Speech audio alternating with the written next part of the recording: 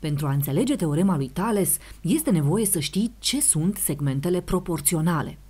Privește cu atenție cele două dreptunghiuri. Se observă că AB, PQ, AD, NP sunt patru segmente cu lungimile cărora se poate forma o proporție. 10 supra 5 egal 4 supra 2. Astfel, AB supra PQ egal AD supra NP. Spunem că segmentele AB, CD, EF sunt proporționale cu segmentele A'B', C' de prim, E', F' dacă lungimile lor, exprimate cu aceeași unitate de măsură, sunt proporționale. Verifica dacă în figura de mai jos AB, BC, CO sunt respectiv proporționale cu MN, NP, PO. Rezolvare. 4 supra 8 egal 5 supra 10 egal 3 supra 6. Se observă că cele trei rapoarte au valori egale cu 0,5. AB supra MN egal BC supra NP egal CO supra PO. În această figură poți identifica segmentele proporționale?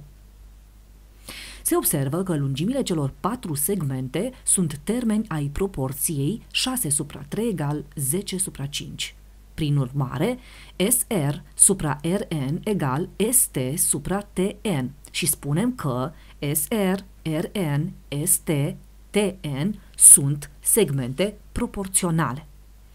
Teorema lui Thales, o paralelă la una din laturile unui triunghi, determină pe celelalte două laturi ale triunghiului sau pe prelungirile lor segmente proporționale.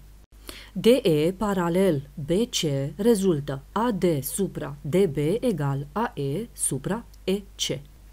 Acum, pentru că ai aflat sau ți-ai reamintit aceste noțiuni, hai să vedem cum putem folosi teorema lui Thales în situații concrete de viață.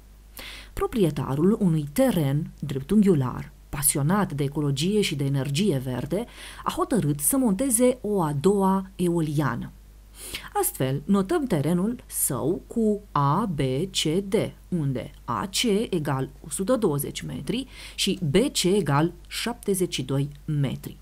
Prima turbină eoliană este reprezentată în figură prin punctul E1, punct situat pe diagonala AC, astfel încât E1C egal 40 metri.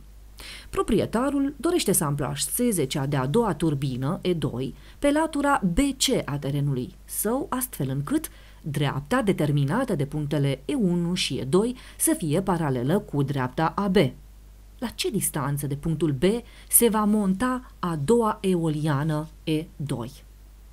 În triunghiul ABC avem E1, E2 paralel AB. Conform teoremei lui Thales, obținem proporția.